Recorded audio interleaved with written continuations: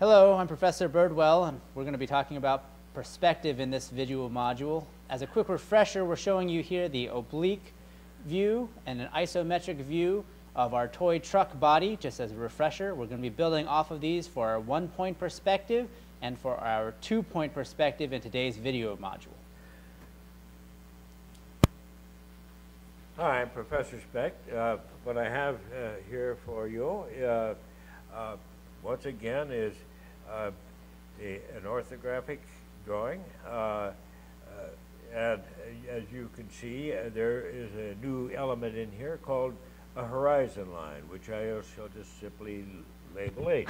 All right. now, depending on where you place the object above or below, it depends on what portions or, or planes of the object you'll see. When it's below the line, you're going to see more of the top and the front. When it's above, you'll see the, the, the, the front and the bottom, some of the side. So it's a way of manipulating the drawing to take a view to show a viewer details uh, in the bottom, back, front, top, or bottom. And again, we're showing you here the below and above vantage point of the oblique drawing and we're now going to show you how to do this with the one-point perspective first. Okay, now what I've done here is I've taken the uh, true side view of the uh, uh, multi-view drawing, uh, just as I did in the oblique. But in this case now, I've drawn in a horizon line, which I've marked as H, and I'm going to put in a perspective vanishing point. Vanishing points are uh, very simply railroad tracks that disappear in the distance uh, or hallways that disappear. In the distance. Let me show you. Here's what happens. From every vertex, this is the front. This will describe a front edge of the plane. I go out. So as you can see, I can begin.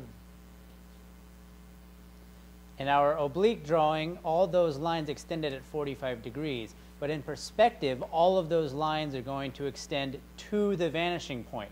Now you're going to choose the placement of that vanishing point, but it will always be on the horizon line. But you can choose where on the horizon line it will occur. Okay. However, you're not able really to, to dimension where this uh, uh, front plane for the front of the truck, it, it's, it's called eyeball. You eyeball it, it looks about right. I'll draw a vertical line, this parallel and vertical at the same time, all right? So here I can then draw the front plane in perspective. Now, as you can see, the front edge is smaller than the rear edge. Again, parallel lines, parallel lines. Done that? Okay, I've got a windshield that's slanted. That should be parallel. Okay, that intersection with this vanishing point from that vertex gives me that and we might have just said that backwards, but things that are in the distance will be smaller than that which is in the foreground. Just like if you were standing further away, you will look smaller. You're not actually going to get smaller. And then there are details like wheel wells, and you say, well, the wheel well is about that deep. Okay, uh, uh, once again, there's the line, there's the line, that's the back of the wheel well. Well, it'll echo this same shape, so this has got to come up, and do this. Okay. Same for uh, our, our, our, little window, which happens to be round. And uh, you would build that and, uh, and construct it in a, a, square. But what's important is the vanishing line from this point on the leading edge back. And it's only about that deep. Okay. Well, I can't quite see it here, but be about here. So I can, I can simply say, well, this is about what it looks like, okay? Uh, so suddenly, uh, this is a much more realistic looking view than you would ordinarily expect to see in either an oblique, certainly, and uh, possibly uh, an isometric. Now we said that you can choose the placement of the vanishing point on the horizon line, and likewise you can choose the placement of your drawing with relation to the horizon line itself. So we're going to show you briefly what it'll look like if you were to draw the uh, object above the horizon lines. We're going to sketch in a couple of vanishing lines to this top object above. Okay, here we go. You find the vertex, draw the line. The process is going to be just the same. Everything goes to a vanishing point.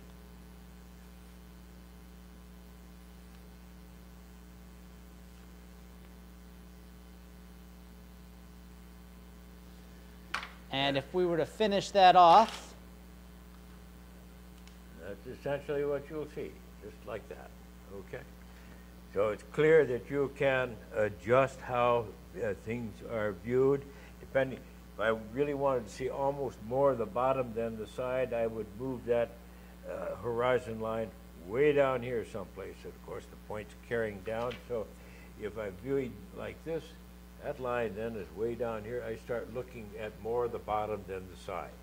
So you're in control of that, uh, but let me re uh, reiterate again that uh, that ordinarily is not something uh, as a, uh, a, an engineer is going to use as a drawing tool. and now we're going to show you what the two-point perspective looks like. So let's clear this out.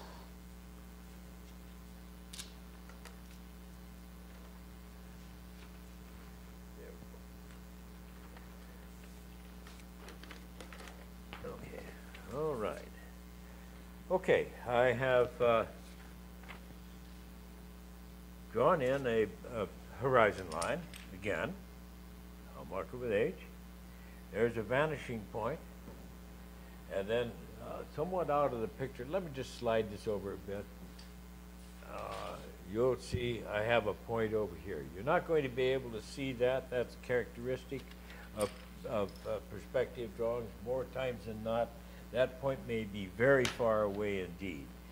And here I've raised a line uh, that represents the front leading edge of the construction box into which I want to make the drawing, okay? Now let me remind you, here's a construction box for an isometric. And here's the front leading edge of that box. Here's the front leading edge of that box. This is arbitrary. Uh, and let me just connect both these top and bottom vertexes with So as Professor Specht is now building his construction box in the two-point perspective drawing, I'm going to mention that just like in the one-point perspective, all of your vertices are going to extend to a vanishing point, only now we have two vanishing points. So we'll have one side going off to the right-hand vanishing point, and we'll have the left hand going off to the left-hand vanishing point, vanishing point two. So now you can see that I have the two front panels or planes that I, visible panels and planes of that box. Now, I, I know that uh, the leading edge of the, the, the hood of this truck is somewhere in here. I can, I can do that by inspecting a, a drawing or simply deciding that's where I want it to be. And I draw another line. Again, that line's going out to the vanishing point. Okay, well, uh, and it also goes back, let's see what the top plane of the hood looks like.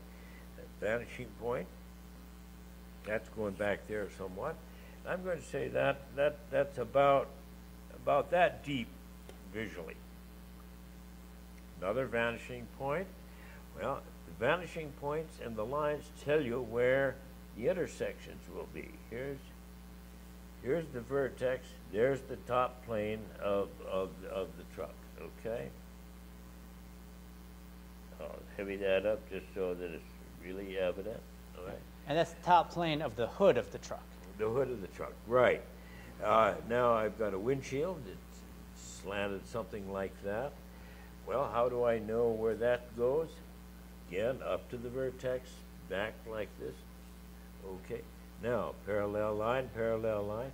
Here's the far corner of that windshield, all right?